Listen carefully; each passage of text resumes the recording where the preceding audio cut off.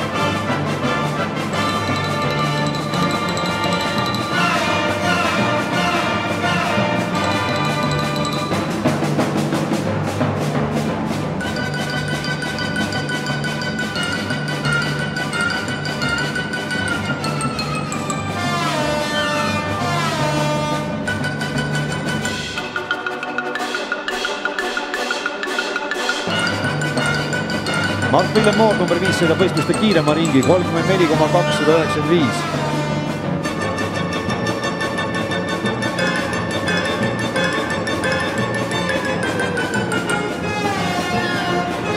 ja Moor teeb taas kiirema ringi